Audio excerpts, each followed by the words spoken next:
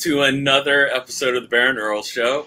Um, today we are here with ChrisCross, and and he and he has mood lighting because he recently moved, so he's in a mood. Yeah. You're in New York, right? Uh, Jersey. Jersey. Uh, Better. Jersey City, actually. wow. So you're getting rich. I hope so. I hope so. I'm working on it. Yeah. Yeah. it So it's in Cross- flux. How Yeah. did you get into comics? How'd I get in? Um, um, the hard way. Um, basically, at first, uh, when I was younger, there was, of course, there was no internet, so my my my road to uh, comic books was pretty much um buying comics, looking at the indicia at the bottom, trying to find out where Marvel and DC or First Comics or uh, uh, you know Dark Horse or whoever showed up at the time was remember Comico, them two. Uh, wherever they had an address, I would be able to mail some uh, Xeroxes of stuff that I did to them to show them what I'm trying to do or how I'm trying to get in, and then I would wait for a response. Um, sometimes it would be DC would have situations where or Marvel would have you could send a whole portfolio of stuff in, and they they'll look at your stuff and they will send it back eventually. What that could have been months. Like basically, if you sent that stuff, forget ever getting that stuff back because you know there was literally hundreds of people sending uh, some sort of artwork to them so they could get some sort of critique or uh, maybe that, that blessing that they maybe start start working on a comic. But um, that that was the beginning of it. Then of course I did the convention circuit I used to go meet certain people at conventions trying to find how to get in, and then eventually it was a situation where um, a friend of mine named Brian Marshall, he uh, he's done a lot of stuff in the industry, but he I met him when I was in high school, and I think it was I was around 17, I think it was. I was no 18, well I was 17 because I, I um, we were about to graduate, so 18 was like the month I would graduate when I had my birthday, but. I found a, a guy that I used to go to one, uh, one of the one of the teachers I used to be uh, a student under or some kind of extra credit thing. He told me he knew about some cat who was doing comics. So I said, "Oh yeah." He said, "I see you drawing stuff all the time. I just want to take you to this guy and have you meet him." I'm like, "Okay, all right. Well, what's his name? His name is Brian David Marshall." So, so I said, "Okay, what does he do?" He said, "I'm not sure what the comics are, but you know, uh, I know he does it, and I think he should look at your stuff, see if you see if you could get a gig, see what happens." I said, "At 17, what would I do?" He goes, "Age has nothing to do with it. Just if you got the you got the uh, the gusto, you got the hustle, just take it anyway." So, so we went there. I met up with him. There was a place, uh, Avenue O in Brooklyn, and uh, Brian had a house there with another guy he was partner partnering up with. And at that particular point, he was doing Lodestone Publishing. Um, he had another, uh, I think it was another company under another name, but I think that switched to Lodestone. He was doing Thunder Agents at the time, and he couldn't have been much older than I was, like me, me 18, 19 years old. So I'm like, this young cat got a house. This young cat, he's like, he's he got a company. What the hell's happening? And I'm- I started asking, like, how did you get George Perez to do your covers? But they even hired a guy to even had George Perez doing the interiors of that stuff too. And I bought that stuff, so I was like, oh, you're like you're the guy. So I showed him some stuff. Um, he liked what I, what I had, but of course I still had a ways to go. But I was kind of like almost there. So he said, "I'm gonna let's keep in touch.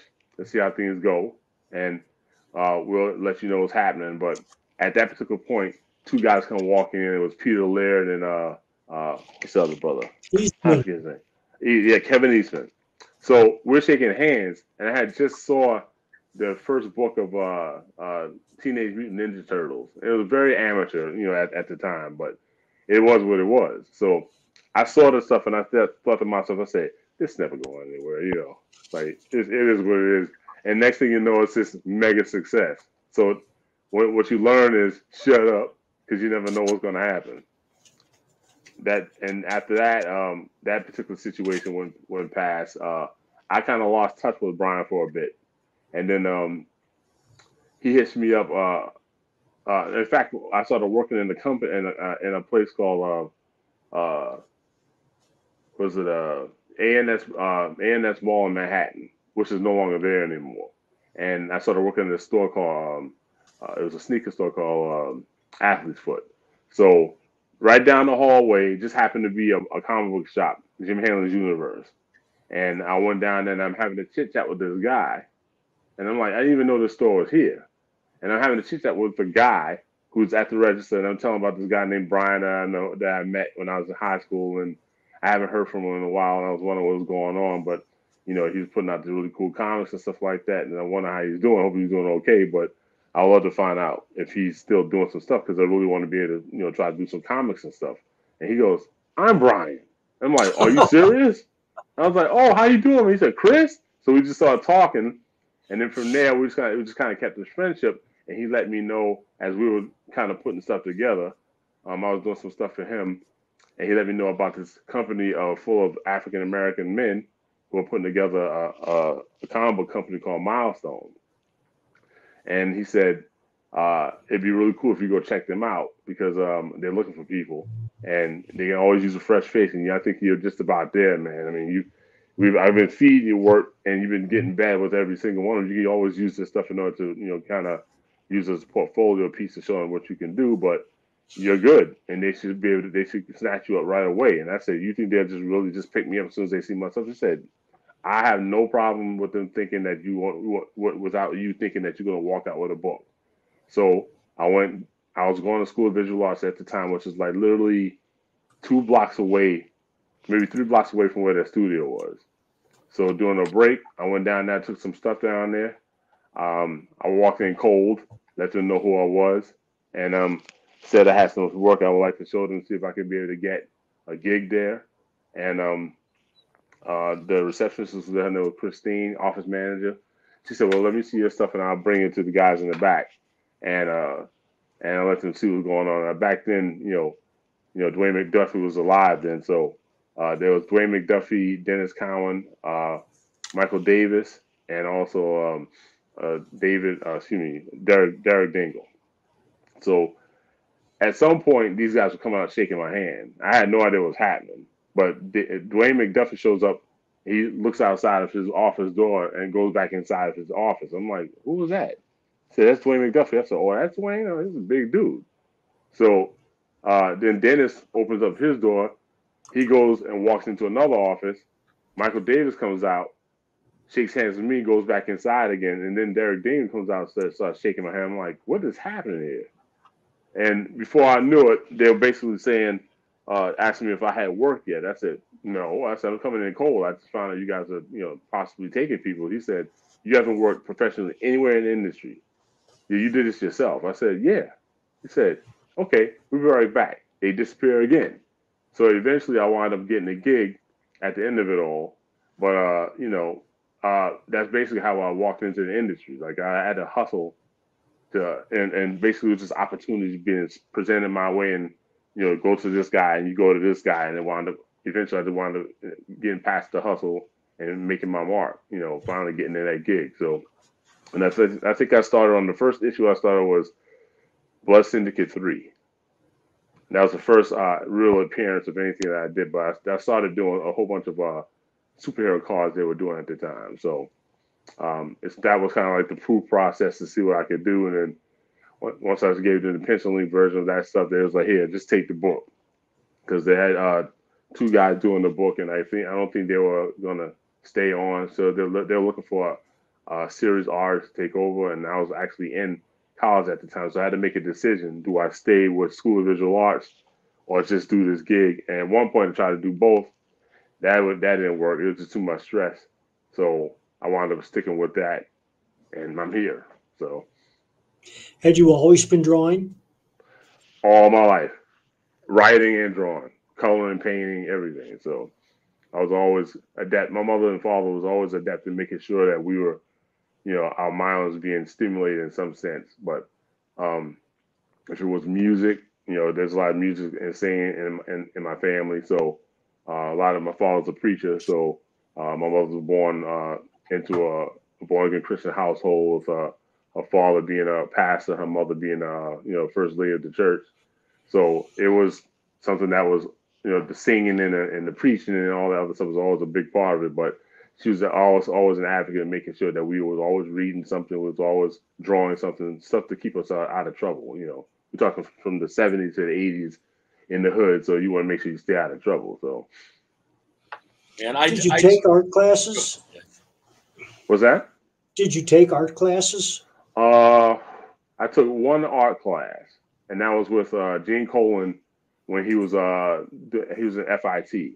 A friend of mine who also had passed away, he was uh wanted to get into comics also, so we both uh, took a time uh to, to put some money together. I found that Gene Colan was doing a class at FIT, and we both went to go check him out, see what it was all about, and you know it was a really great experience.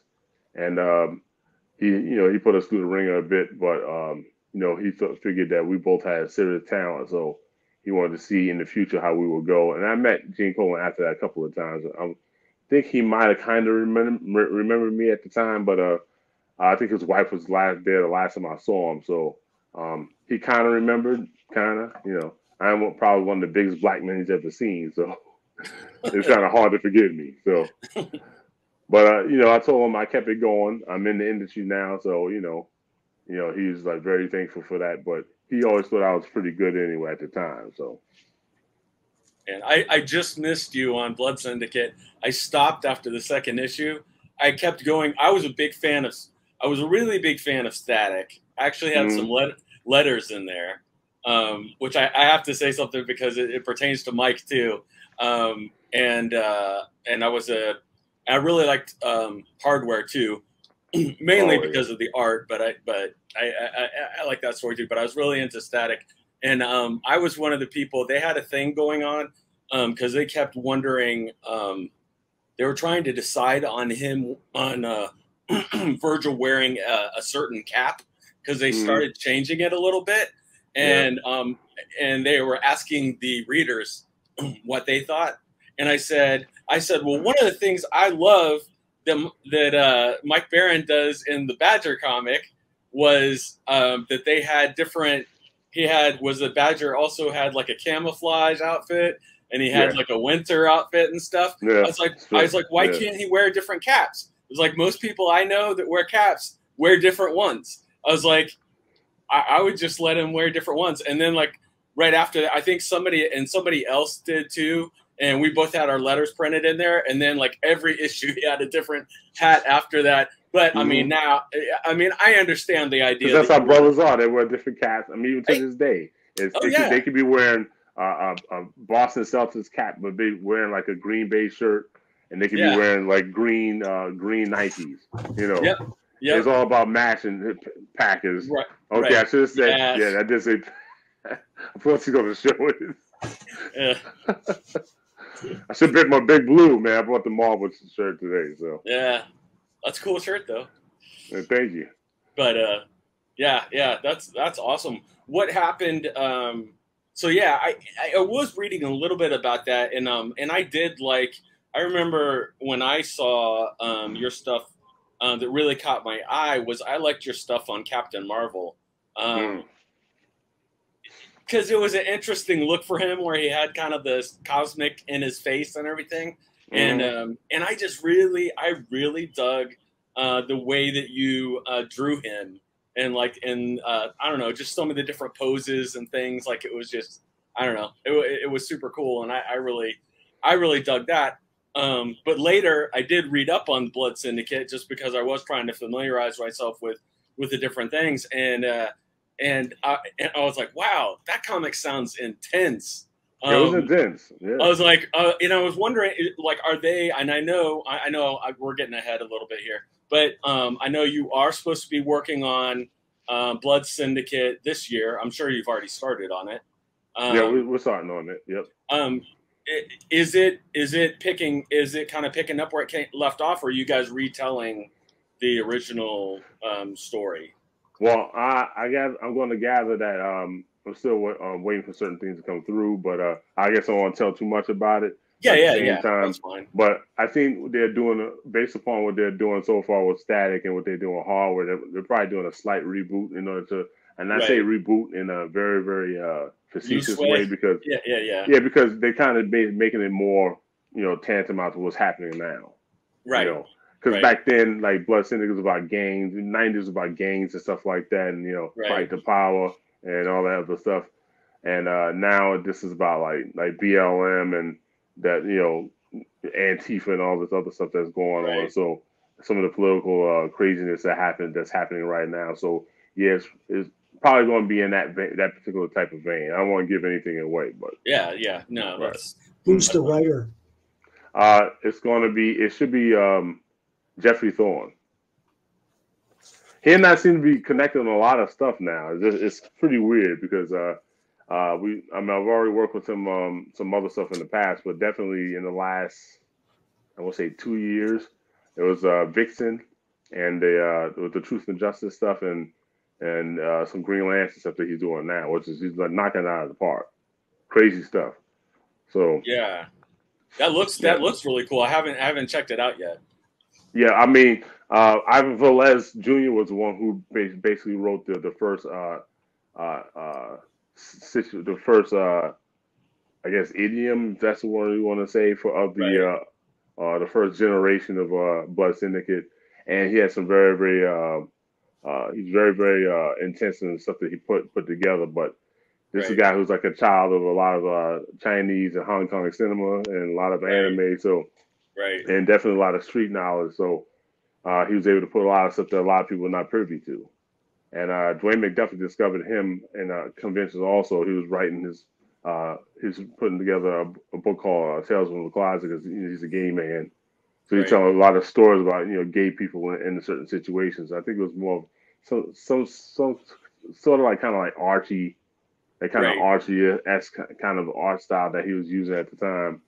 But this stuff has graduated since then, and um, it, I guess Dwayne McDuffie saw the, his writing abilities. Like, have you ever written anything before? Like, for he's like, no. He said, except for his own stuff. He said stuff was just so amazing uh, from the stuff that he read from the Tales from the Closet stuff. He said, you need to write this book. And he was just, they were just happen to be at the right place at the right time, just picking guys who were just very, very talented. And uh, it just happened to just merge together. When I saw um, Ivan's stuff, I started reading it. I was like, I think I can pull it. I can pull that off. I can pull that off. So, I mean, some of the craziest stuff that's happened in those books. I mean, I've actually tastefully had uh, a character peeing on someone else in a panel. Right. So who does that? You know. Yeah. So, so I was able to pull that off and still got under the comics code. People don't know what the I- I comics was code say, anymore. Yeah. Yeah. That was that was when the comics code was still around. So We have our own fight with the comics code. yeah, I Uh-huh. got my I got my uh I got my shirt Oh. on here. Nice. We we got Nice. we got it pulled down though. So and we got kicked off of TeePublic. So uh, I, I'm, Really? I'm disputing it. Yeah, I'm disputing it Because I- of the because of the design the, the, the design because of the design, artwork? but it's like I didn't even use the same font. I didn't use anything, and I even put like our crowns at the bottom. Like Mm-hmm. it's not the same at all. I'm like, I think I think their uh, I think their robots are triggered. Hey, Jeff, Um, we should we should only, we should get down on our knees and beg them to sue us. Yeah, yeah, I know. Uh, that they don't they don't yeah they don't care. No. But uh, Yeah. you, did you get Well, how it? did but how did you discover it was kicked off? Because uh, they send you a letter. Oh, And like in the from- mail, from their- email. Yeah, from their legal department. But I've heard from a lot of people. There's people that have done original art it, um, for their stuff, like 100% original, not copying anything. Put it Mm-hmm. on there, and then they got the same thing. Uh, and then you just and it's just like certain things just trigger the uh, the algorithms and, and Okay. The and the, bot and the and the robot things they have. And Mhm. uh, so, so you know that's why it's like if you feel like this is wrong then you need to dispute it i'm like i'm disputing it it's like this is ridiculous and especially you can go on there right now and i gave them examples i made a list of all the people who just copy and pasted the original comics code and have it Mhm. on there i was like Mhm. at least mine is original like Mhm. i'm i'm imitating it but i'm not just copy and pasting it they even there's even somebody on there and i pointed out to to him too and just because when i was searching for the comics code stuff it came up there's a guy who posted a silver surfer cover by Moebius Mhm. on on- on there on a shirt and he doesn't Right. have the rights to that it's No, like there's doesn't. no it's like there's no way. So like I po- I pointed him out. Okay, I was like I was like if you're gonna complain about art thing, then you really need to deal with these people and you know because it's I was like this is I don't know how these so these ridiculous. standards that some of these people do, uh, like especially like sometimes on YouTube or some some other spot like Instagram or some other spot. and they come at you with some other thing, but like right down in your own feed, they're doing the same thing, if not worse. Right. But they're coming after you. And like, I'm not understanding that. Like, help Yeah. me out here. I totally Hit- get that. It's annoying. Haters like to hate. Yeah, but I'm sure there's other spots you can go to other than Teespring. So Oh yeah, oh yeah. There's there, yeah, there's a, there's a few other places. I, I've heard that other people have had trouble too. Some of it's just like I said. I think it's like a lot of things where a lot of I I, th- I bet they're understaffed and they're relying too much on technology that isn't the greatest. So Mhm. it, it, it's just triggered by anything that it thinks might be have some sort of copyright infringement. So. But Yeah. yeah, this actually, yeah, this and and it was funny because this shirt actually came in the mail today, and I was like, um, and I was like, oh, okay. I was like, I guess I squeezed this one in right before they got rid of us. So, Mhm. um, yeah, some of my friends were teasing me about wearing contraband and stuff. So, Country- but Chris, did you spend much time with McDuffie? a lot of time. Um, I used to make it a point to find out who he was. Um, when I was coming from School of Visual Arts to, to like to kind of walk down, I would walk down two blocks to come meet the guys, kind of see how they were doing. I just wanted to see who would be kind of popping into the studio. Uh, a lot of times I caught Mark Bright, which was like awesome. He's he's literally the uncle you wish you had, and um, he's very very smooth guy, very uh, low key, funny when he wanted to be, you know, but very intelligent, very pensive, um, very down to earth. Uh, Dwayne McDuffie, of course, was the big brother you wish you had.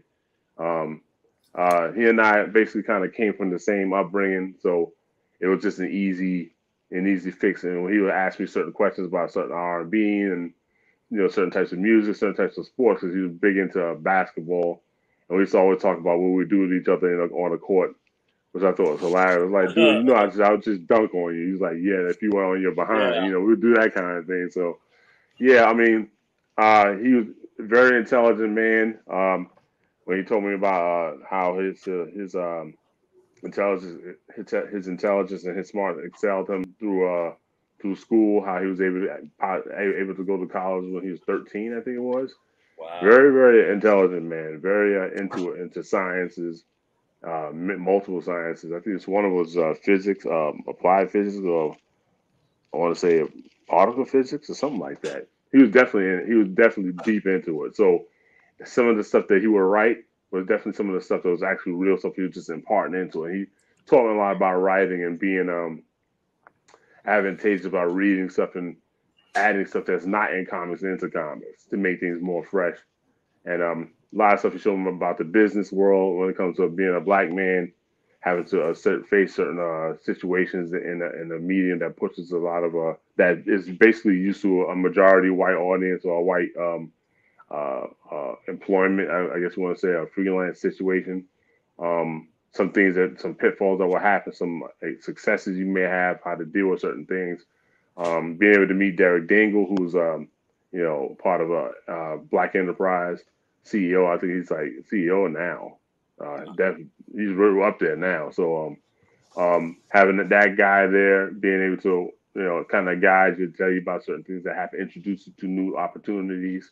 Uh, with Denys Cowan, who's of course another big brother, who always kind of punched me up whenever he uh, saw me doing certain things, you know, art wise. He he always asks you why, why are you doing that? Like, does that make sense? Do you have to do that? Does every panel have to scream out, yeah, ah, ah, you know, reach in, you know, crazy panels. Sometimes you need a little calmness, you know. And yeah, but if I do calm, no one's gonna look at it. It's like that's not true. Sometimes if you do everything that's just wiring so that has so much energy to it, it becomes mundane because it's all like that. You have to be able to, right, you know, meter it. You know, he was always telling me that. Um, feed me stuff. Uh, feed me a bunch of uh, different um, artists that are out there. Um, who was able to basically be an example of what he was talking about. You know, uh, be able to learn from those guys, be able to learn how to tell a story first, and be able to draw better later. Which Who- also who- was a. Go ahead. I'm sorry. Yeah. No, I was just going to ask who, who, like, who you were really into as far as like art style wise that you think might have influenced your style. Well, I was definitely into Jack Kirby, Sal, Sal and John Buscema. I was into John Byrne back in the days. I met the brother. he's he's he's a trip. Um, Neal Adams. Uh, oh my God. Um, back in the days, I guess it got into the nineties, like Arthur Adams, Michael Golden was uh, I was able to really like finally meet when I started working at Marvel. Um, oh man, a uh, lot of a lot of Japanese uh, artists, a lot of European artists. Uh, I made it a point to like buy stuff from other countries to see what, what was going on going on over there.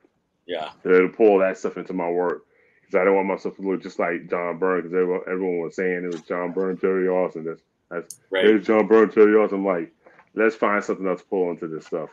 Yeah, and, you um, know, John Byrne is inimitable in my opinion. I've never seen anyone who draws like him. Yeah, he's he's a very talented guy. I mean, his his uh he definitely upped the ante when he started uh, writing and drawing. Um, but he was everywhere at some particular point. Yeah. I mean, he was drawing maybe two, three books a month sometimes. Yeah. And I, I mean, I'm fast, but not that fast. How fast and, are you? Well, I've done. I managed to do two books in a month one time, and I decided I'm not doing that anymore. yeah. Did you ink yourself? Uh, at that time, no. But as I'm penciling inking myself from time to time now, it takes a lot longer. And plus, I'm slowly shifting back, shifting it to purely digital. I'm trying to yeah. find a, a, happy medium because I don't want to do just pure digital because you have nothing to sell, but at the same time, yeah, you know, NFTs. Think about what's faster. Yeah, it's just. I'm right now kind of working with. I, I do the, the, the old school style with playing around with Photoshop and stuff like that. You know, doing some yeah. digital stuff, some some digital, some uh some hand drawn stuff to kind of come up with some effects. I'm trying to look to tell the story a certain way, but you know, I'm about to break out the new Cintiq, so I'm about to see how that's going to go. So nice. Yeah, we've been that. talking. We've been talking to some artists, and and I know some too that have, um, if their pencils are tight, that they've just gone straight from pencils to like doing color coloring it if they if they color their own stuff. But mm. um, but uh, what are you doing now for like?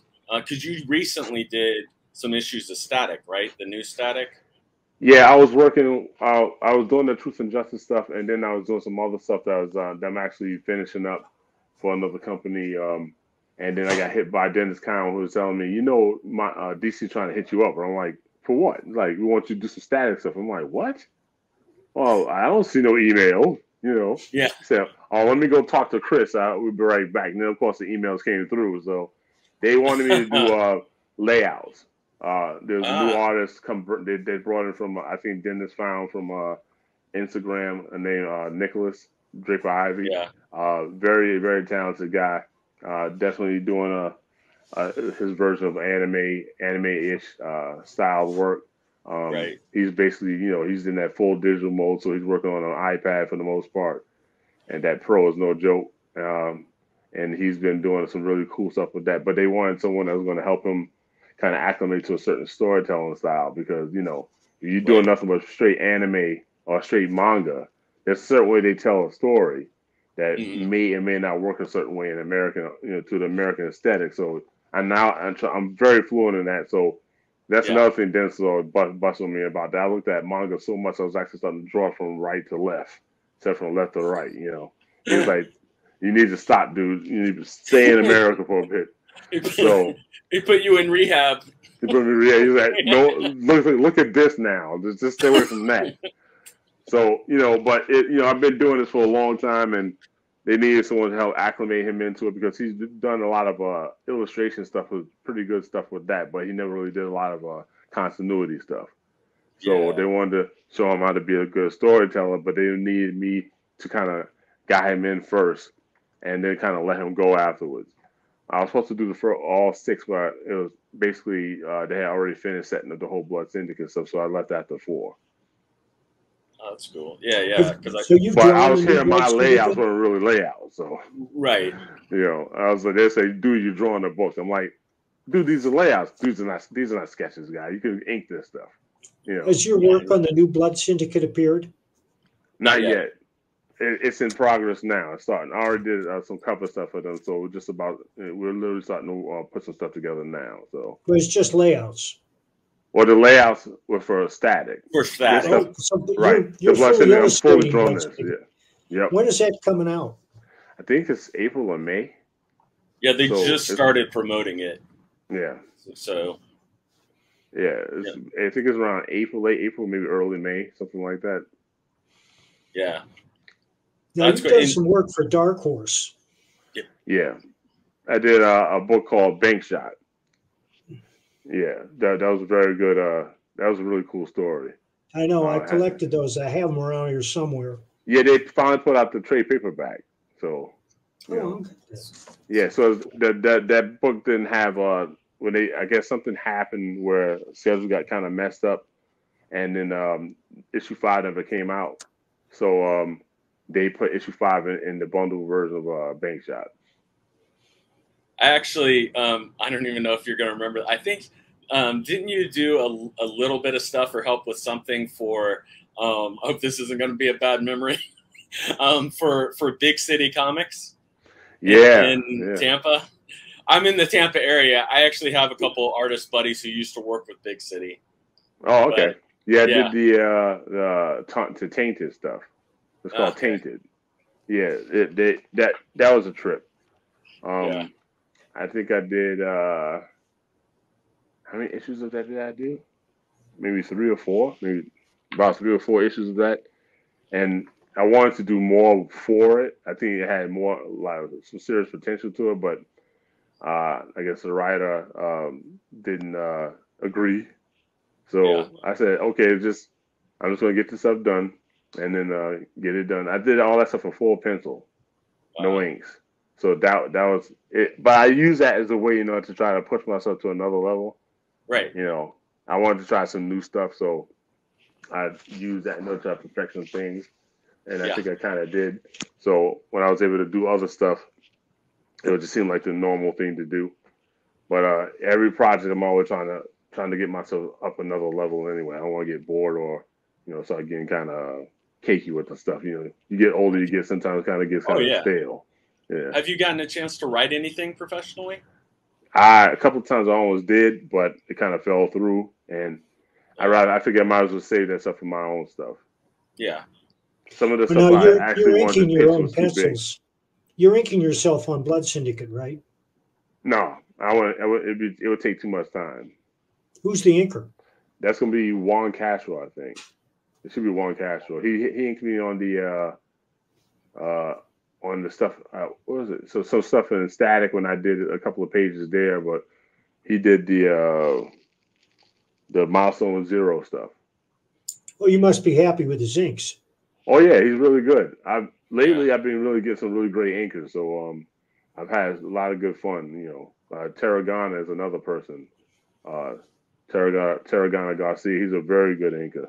Um, uh, he inked me on the Truth and Justice stuff, the, the Vixen stuff. So uh, I have a plethora of inkers I've been able to kind of get in touch with when I really need to get some stuff done. And they just kind of came through. So they pushed That's me to awesome. another level. It's awesome stuff. So. Your Vixen stuff looks really good too. I didn't, I didn't, I didn't read it yet, but when I was going over everything, I was like, I was like, man, is like his Vixen stuff looks looks good. Yeah, I, I still beat myself over that stuff. It's just like the only thing you could have done better, but uh, Oh, yeah. yeah, but yeah, you know how it goes. It's that the cycle clown in your head. You know, Yeah, you're never good enough. You're gonna die never being better. He's like, whatever. Like, just get it done. yeah, but I had fun with that stuff though. Me and Jeff, uh, that that was a funny story. That that that particular uh, project because someone was talking about on Twitter about that they need Vixen in their life. So I said, that's funny. So I said, I've always wanted to draw a Vixen. Someone goes, it'd be really cool if you could draw a Vixen. And then Geoffrey Thorne said, yeah, it'd be cool if I could write it. And I said, you know what? Let me let me go ask somebody about that. And I said, I'll be right back. So literally, as soon as I saw that, I hit up some people at DC. It was Andrew Marino. yeah. And I said, Are you guys doing anything with Vixen? He goes, I don't think so. You want to do something with Vixen? He goes, I think so. What do you got in mind? I said, Me and Geoffrey Thorne like to draw some issues that bad boy. He goes, Hold on, I'll be right back. And he goes, He's like, I'm going to literally going to ask somebody right now what's happening. He said, Okay, let me get back to you. Literally about two days later, he's saying, Let's do it. And I said, Geoffrey, we're doing Vixen right on, on Twitter. He goes, We're what? We're doing like, what do you mean? I said, dude, I just finished talking to him. They said, let's do it. I said, That's he awesome. said, are you making this up? I said, no. I'm going. Andrew Marino wants to talk to you about five minutes. yeah, So it just came out of something like that. Yeah, yeah. Yeah. That's Has that's that material crazy. appeared? Yeah. Say again. And has that material appeared? Yeah. Is that? Has it been released? The, Oh yeah, yeah, yeah. I'm sorry. stuff? Yeah. that's what stuff has been out, and I think it started digitally, and then it came out as a book, and It's then a I think it was the yeah. first three, book, the first three uh, Truth and Justice books, was like ten pages of each. Uh, it was done thirty pages, but it did broke up into three spots, and they kind of I think it was multiple stories in one particular book, and Vixen was a feature story. In each And the one, name of the book is Truth and Justice. Truth and Justice, and it should be uh, what do you call a trade paperback now. Yeah. So it's all collected. And I'm sure some, there's a batch version of it somewhere on Comixology somewhere. Right. Unless DC is still putting it out exclusively through, uh, I guess, through the Comixology engine. Well, you know, Chris and I almost worked on a, a project which was an adaptation of my uh, novel Biker. And Chris, uh, by the way, a, a, a producer just took out an option on that property. So Mm. keep your fingers crossed. Uh, and Jeff, uh, uh, Chris did a, a cover, and I just posted it in your Facebook Messenger. Okay. If you want to take a look at that, I don't know if you can put that up on the screen here. Yeah, probably. Yeah, that was kind of kind of working on its way, and then I forgot there was a lot of stuff happening, and I don't know what, why. Well, nothing was it. happening. Nothing was happening, and, Yeah, and and uh, I think he was trying to get it out there, and no one's really picking up on it. But you know how it goes. It blows up, and then everyone's gonna want it. You know how it goes. I thought it was a cool concept. oh, we still might do it. Uh, you, you never know. We're going to see what, what I'm open, man. happens? I mean, I'm in a much all- better position now okay. to get Did things you get? done. You met Bezos. He gave you some cash. no, I didn't Bezos. Bozos. It's, it's just the way he said it. I'm in a best, better position now. yeah. Well, I, I mean that uh, I publishing independently and doing very well by that, but uh, I still good. have ties to some companies like Allegiance. Mhm. I just finished a, a six-issue run on on uh, the Saints, which just came out. It has not appeared in the Walmart yet, so Oh, I have a copy of that book here. Are you putting? Are you publishing through uh, Amazon? Uh, no, I, I'm not publishing anything through Amazon, but all my books are on Amazon. My publisher is now Wolfpack. I'm on my third publisher for Biker. Okay. Uh, and they're great. They've been very supportive. Okay, that's awesome. I'm trying to put some stuff out myself. Hopefully by the by the middle of this year. It's something I've been working together, working working on for about a good 11 years. So You mean uh, a it kind of it, it kind of expanded that way with all the stuff that's happened in between when I first started. But hopefully by this this year things start. You know, I'll be able to do some Kickstarter stuff on it. I don't want to say see it yet, that. but it's out I'd love yeah. to see it. I'll let you see it. I think it's a really cool Alright. concept at first, and it'll be the beginning of many things I'm going to continue to keep putting out. I've been doing this for a while. It's time to break off some stuff for myself that I should own my own on my own. You know, can't just be for DC and Marvel. So Are you writing it? uh, I'm actually I did did most I did the creation of it, um, but I'm going to be um, pairing up with uh, a really good writer named Vito Delsante. He did uh, Stray, a book called Stray some, uh, some time ago. Uh, that was published through I want to say uh, Action Lab. Oh yeah, yeah, yeah. Yeah, but it's a really cool concept. It, you know, he did a great job with it. But he and I have been kind of working on this thing for a while, and uh, it should have come out earlier. But I got sick at some particular point. It was kind of slowed everything up, and then you know, you know, coming back together slowly but surely coming back and trying to make things work. Um, now I'm on a course to finally finish a preview version of it, so I can finally use that as a way to kickstart that bad boy up. Excuse me, and um, you know, finally get that bad boy out, out in the ether.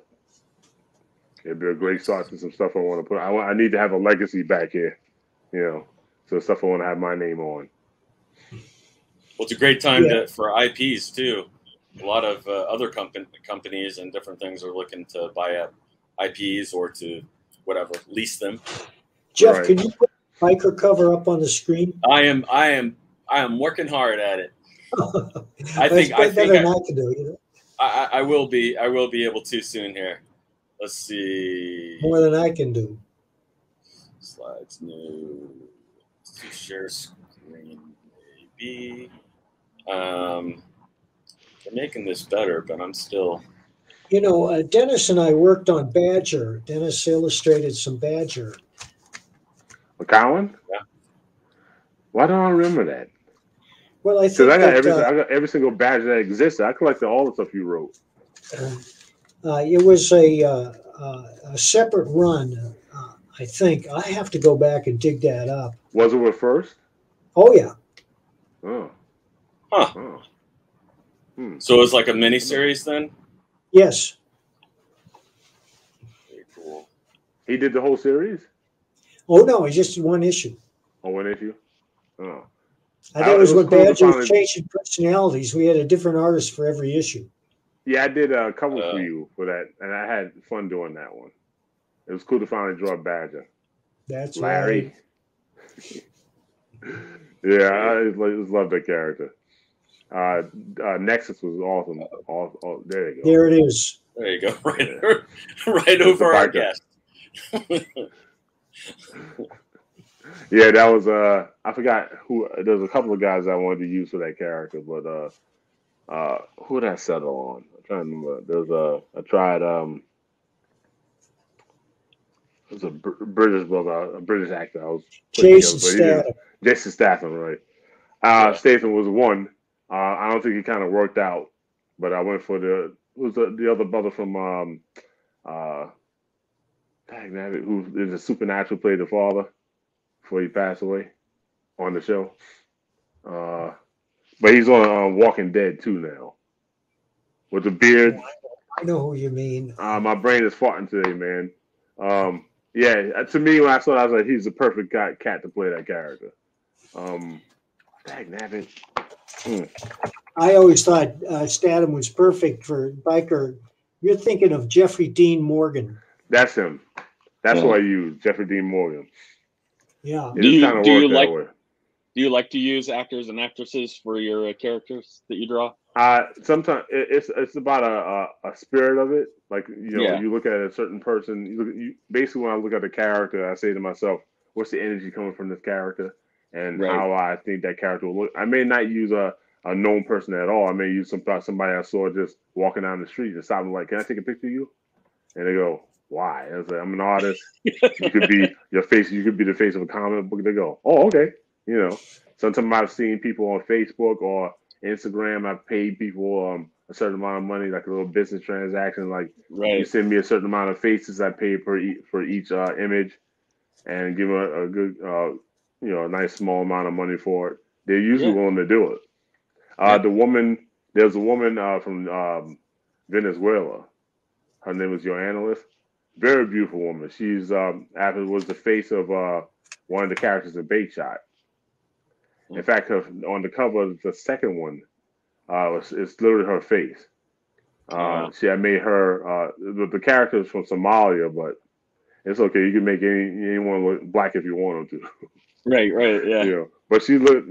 She had the features. She had, you know, the same type of lips, a nice thin nose, with nice thin eyes, beautiful hair. Just like she, she could pass for Somalia. Why not? You know, I mean, to make it happen. So. Uh, I put it together. Uh, I think Shaw Montbro is the uh, the face that I use for uh, for the character, main character in Bank Shot. I He often cast my characters. It's a good way, uh, it's a shorthand way to to indicate to the illustrator the type of person you have in mind. I'll say, you know, Cary Grant or, or uh, Humphrey Bogart or whatever. I just think it t- kind of ties a certain amount of realism to the work, and Yeah. it, it kind of you know plays with a person's imagination a bit when they can actually look at a particular character, that character, and say, "I've kind of seen that guy before, that girl before," even if they never Yeah. never really seen it. People love it when you use classic cinema characters in your book if they recognize them. They love it.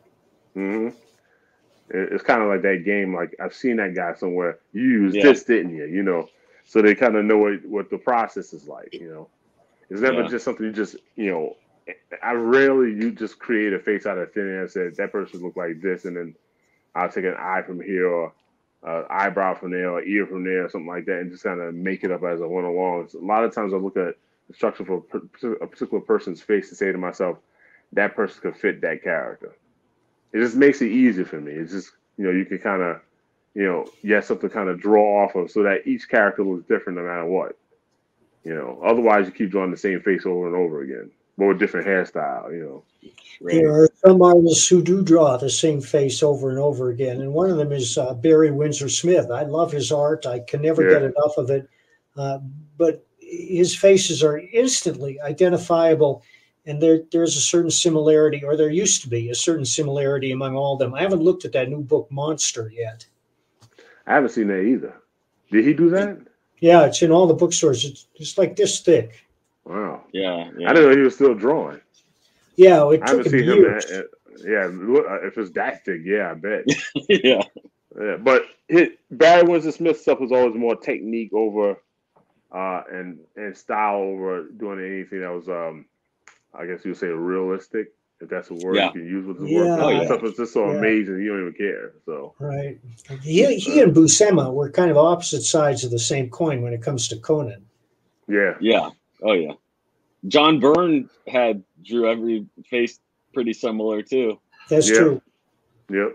It was yeah, he had uh, basically a stock face that he would use, and he just use different types of hair and use the Yeah. same type of hairstyle going going forward. Just change the Yeah. color of it. Yeah. Yeah. But uh, who else? Um, didn't Val Mayerik do a do a um, Conan at one point? Yeah, in fact, he did with me. Oh, there you Yeah. go. Yeah, I, uh, I, I can. I'll post the uh, the cover uh, to Jeff's page. I was just talking to Val today because he called me and he said, "What's going on?" This, Chris just phoned me or talked to me, and and uh, I said, "Relax, Val," because we already recorded his his uh, his so his episode. But funny enough, I'm a, I'm a li- you had me spitting my kombucha because um, I told you that I was talking to Val sent me some sort of some sort of, like an email of some sort saying something was wrong with his horse. And he goes, "Don't worry about. It. We already already um interviewed him already." I'm like, what, "Is she talking about the horse? Is he talking about Val Mayerik?" But the way it was worded was like, "Don't pay nothing. No crazy. He's crazy. Don't worry. We already interviewed him." I'm like the horse. like, what are you talking about? Like, because I didn't even really say Val too much. I was just talking about the horse. He yeah. said we interviewed him already. Don't worry about it. I'm like, what? He's crazy about that horse. He's always been Yeah, I a horse guy. He plays polo. Oh, okay. Which and which and speaking of He's with a team an- too. Is he on a Yeah. team? no, no, no. He used to be. Oh, oh, He, he he said he used to be, but it got too expensive. yeah. Um, but uh, uh, and speaking of talking animals, do you guys uh, still have the uh, some talking animals and Blood Syndicate? I I don't know. That I don't know. I'm pretty sure. he- Uh, dog. You talking about? The, yeah, the, dog. The Yeah, double G. yeah, Yeah, I thought. it was- Yeah, we. Um, I don't know. I, s- uh, we're still working a lot of stuff out. But, Mike, um, Mike and I are both dog people, so that's that's why I was asking. Yeah, I just got a dog too. Uh, named him Rocket. It's a co- border Oh, nice. collie. So yeah, he's a trip too. So yeah, I, I would believe. I'm trying to figure out what his voice would be like if he would say something to me. Can you bring Yeah, Rocket afraid in what he would. Put Yeah. him up on the screen? Yeah, can can we talk to Rocket, please? Oh, he's, he's knocked Rocket. out. He's sleeping.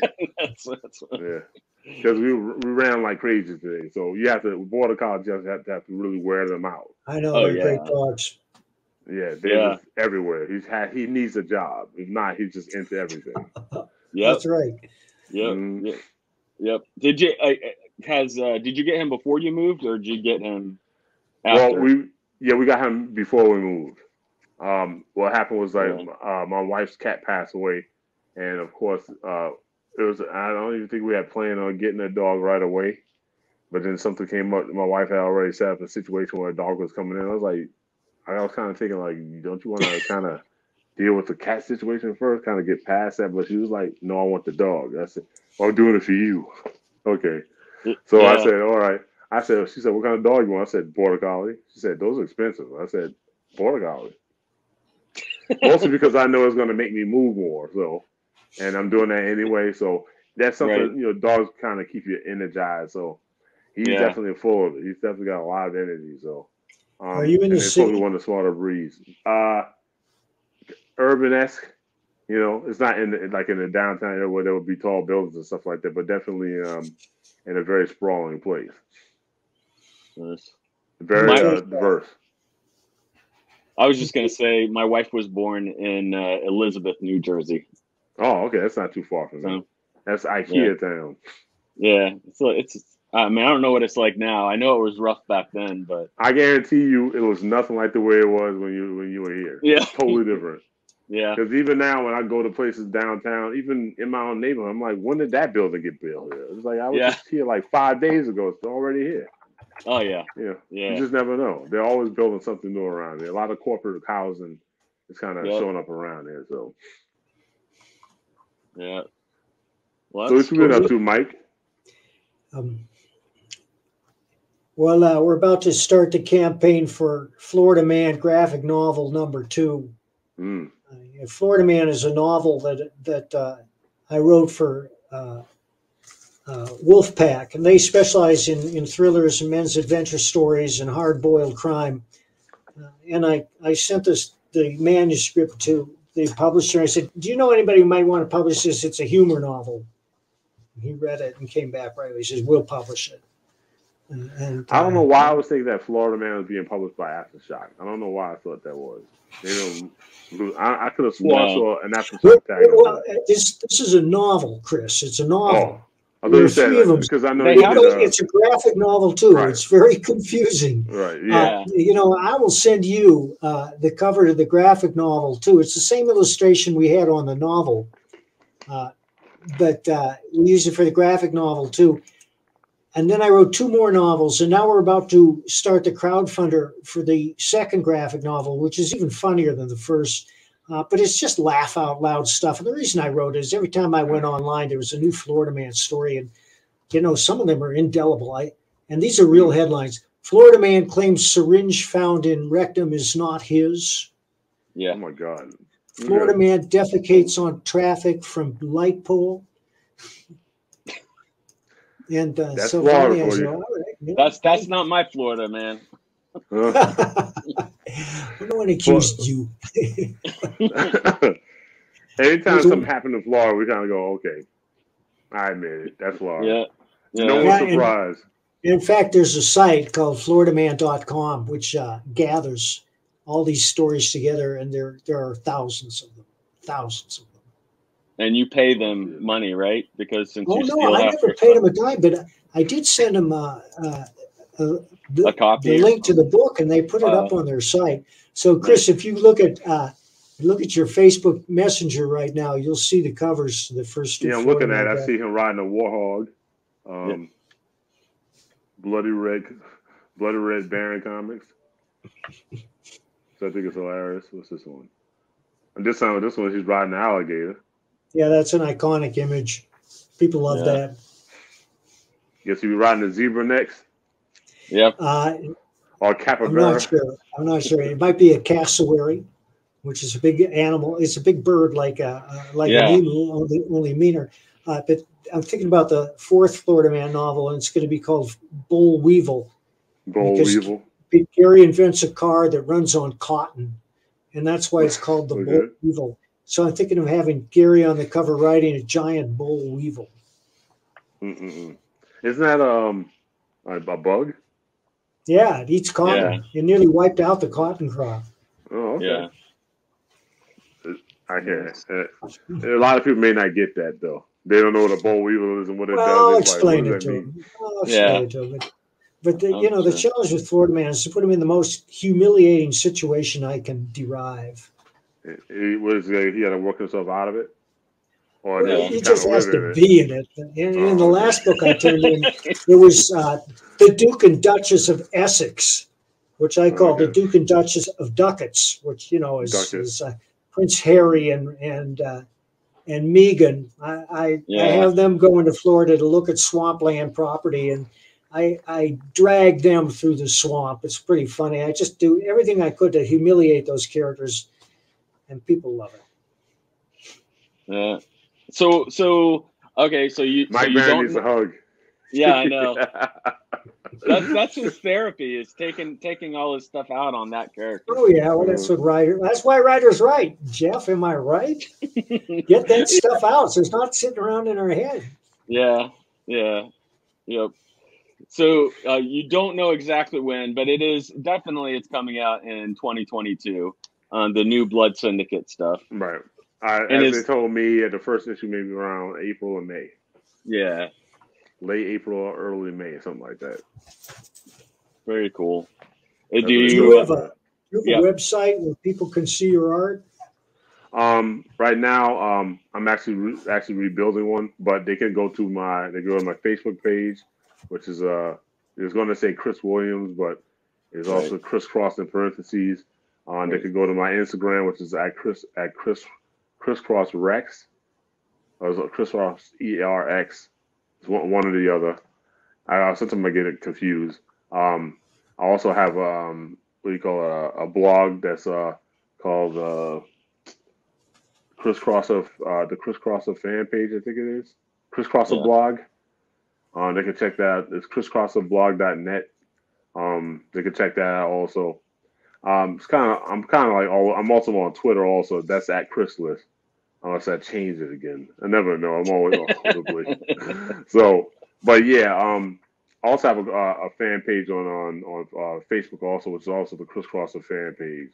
So yeah. um, there's a lot of stuff. Kind I usually put uh, any new stuff. I usually go through the fan page. But I really need to update that that blog though, because I've been doing so much work. I haven't had time to really just sit down and write and put stuff up there. But uh, soon there'll be a a, a, a, a website when that's going to actually house all that stuff, and also one for the company stuff that I'm putting together for that other for the stuff we're going to uh, push this year. That's what we call Eternal Kick. Cool. I'm looking at your blog right now. Yeah, I looked at it uh, yesterday, I think.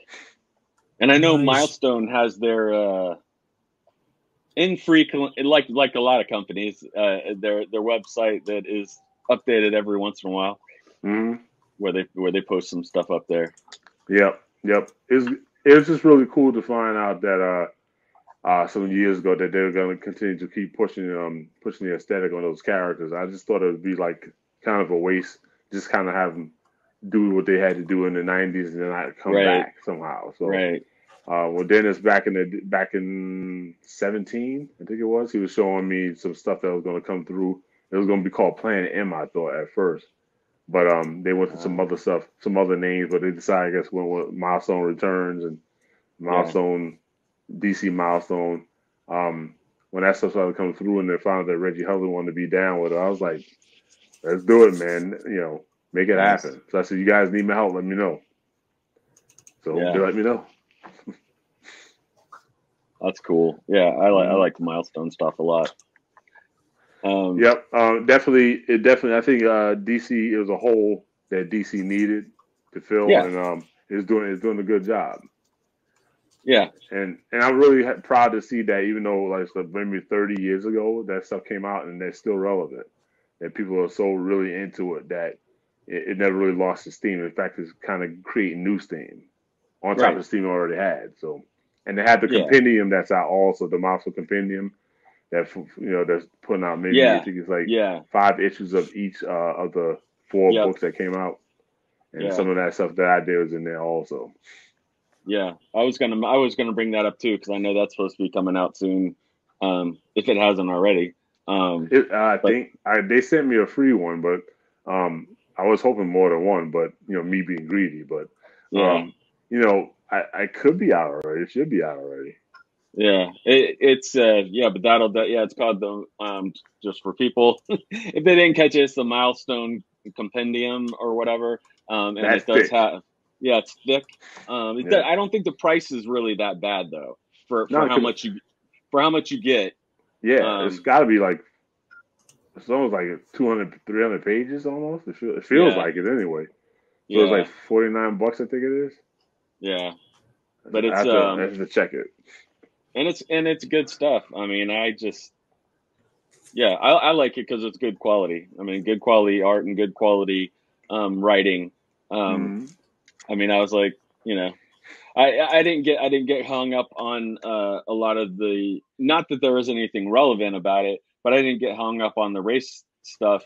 Uh, I was just like, I, I don't as long as it's good quality, I don't I don't care what color the people are or or whatever what else. the the race stuff, you know, it's as if people say the race stuff. Yeah. It's just, I mean, it's just something that it's sort of like, I mean, this is what's happening in this neighborhood.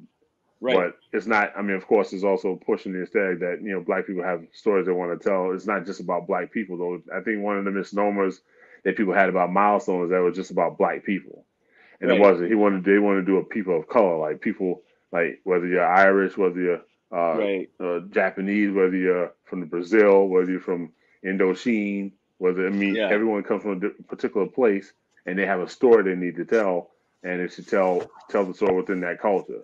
And if you happen to be in an urban setting where all that stuff kind of happens, you just happen to be Chinese in a black neighborhood. This is some Right. stuff that they're going to go through in this in this, in this hood.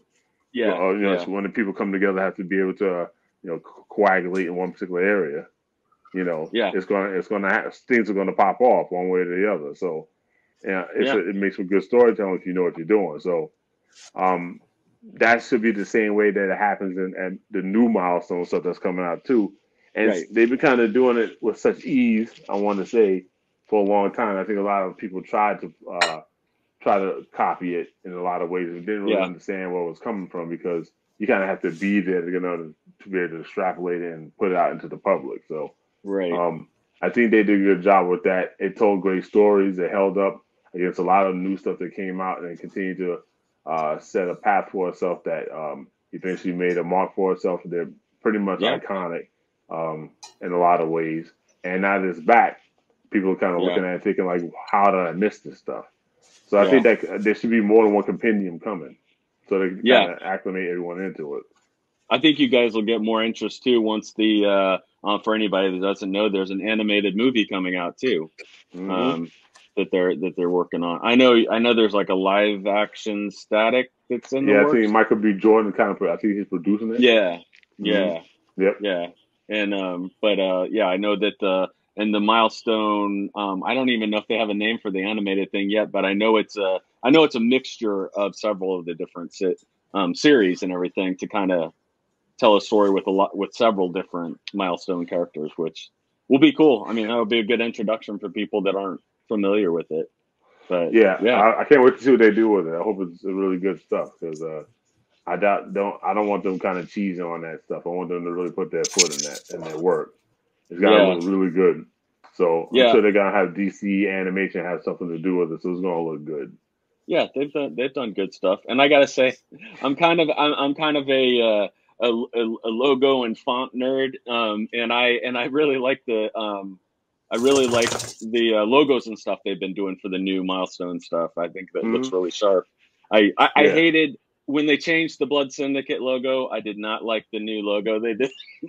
Back, was in, back in the day where the syndicate's really big and and and, and weird. But Oh, was I, I it like done? It was done like like in like graffiti style. I'm talking about because there were three different versions to it. There Yeah, was three- it was like the second version that they had where blood was like written really small and then syndicate was really big. Oh, that I'm gonna tell you a story about that one. I did that. Oh boy. Yeah, that's right. That's right. So what happened was they were looking for a new logo, and I did um, a, a hand drawn version of it. yeah. I did that by hand. So they when they put that together, they said they need something quick. So I said, okay, I'll put something together. You choose which one you want, and uh. I'll put it together. They chose that one, the one you hate. It's a- I mean, hey, I, I don't care because it, it, it I mean they used it for a It, while. it became it became iconic as far as Yeah. I'm concerned because people Yeah. saw that as what it, I mean, you know, saw Blood Syndicate. It was a thing that kind of grabbed your eye, your eye because of Yeah. the angles, you know. yeah. but- oh yeah. You know, but you're like the Yeah. one that's I coming just out think better it should than be the one I clean. drew. I just thought it should have been cleaned up a little bit. I like I like the, the idea, Uh-huh. but but yeah. you see how red he turning right now? So so anyways, uh, Uh, the Yeah. food you ate yesterday, that stuff stinks. uh, You know why? He said, I got a story where I made that food. That's oh, awesome. But yeah, but yeah, um, that was back in the days when people did hand drawn stuff. I just wanted to prove to Right. myself I could do a logo, and Yeah. people would buy into it and they would like it. So, yeah. but it happened for everyone except you. I, You know, I'm, gonna keep living you with it now. I know, I know, I know. Hey, it's all right, hey, but you know, the the second, the third one, I think some people, a lot of people didn't like it because it was too on the nose, like just because their games got to have a good Right. look to it, you know. Yeah. But um, the Yeah. first one was uh, pretty cool, I guess. It's for the I- first eight issues, I think it was. Yeah. Something like that. Yeah. Yeah. Yeah. But, See, like, dang it. We'll see how it goes. Well, Well, I, I got news for you. I didn't do the new one. So Okay, so you'll like this I'll- one. Yeah, I It's like all that good. one. That's good. Yeah. All right. That's. no. Okay. It's all good. So well, I think I, guess think you're I think also one other thing I'm doing also is that they're doing um they're doing something a mentorship program for for milestone for the uh, for Oh, the cool. kids. Uh, again, that's just for for a new artist coming in, yeah. and uh, they want I think they're going to be doing it from late February to April, I think it is.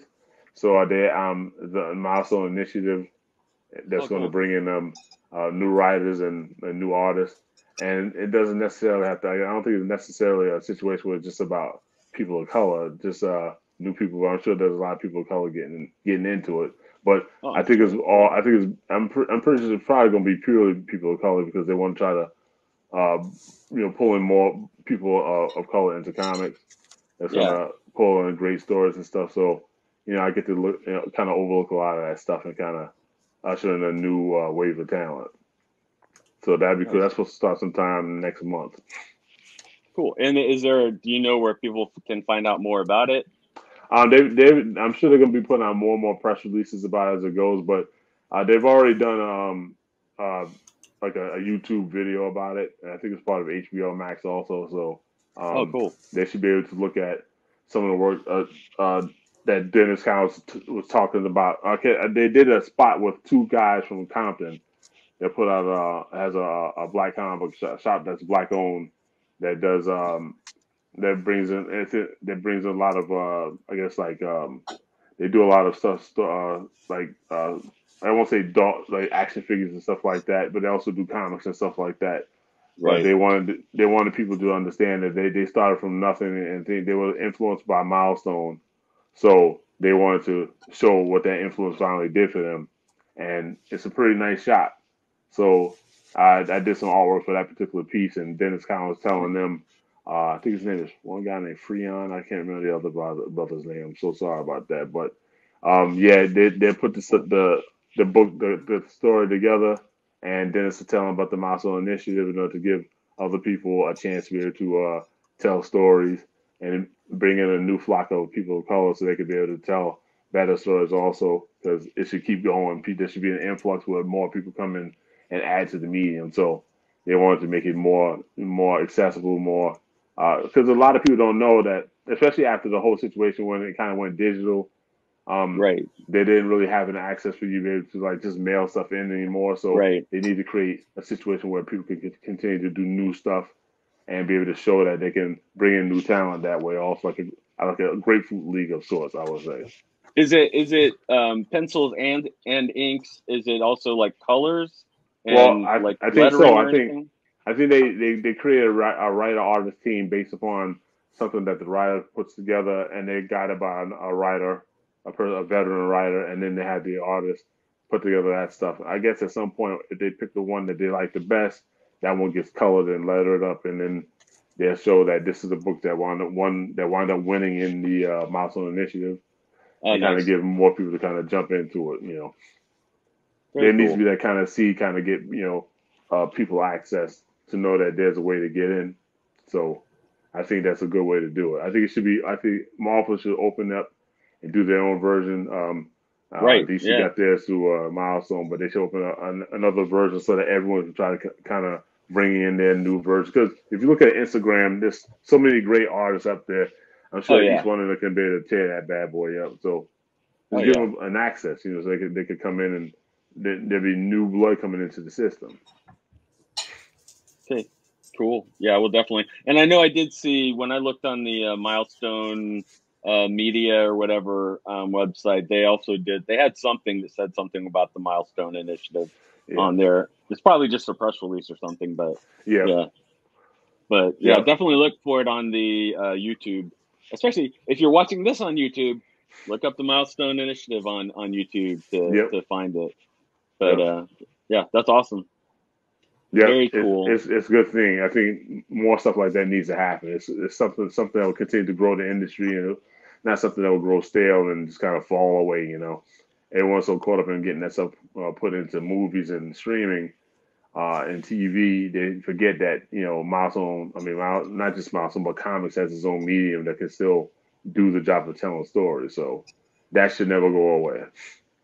Yeah, yeah, yeah. Mm. Yep, and and it gives them skills like like you were saying about just storytelling in general, but also it can kind of translate into into other uh, visual art Yeah. forms and things like and that. And education too, too, because you know yeah, I mean, I grew up reading a lot of comics. It was kind of the one thing that had me reading, and then Oh, yeah, yeah. knowing that there was some kind of stuff that was any, any kind of concept that was introduced into comics had me going out to go find out where they got that from. So it was kind of Yep. like a starter to get you to read bigger books and bigger novels and stuff.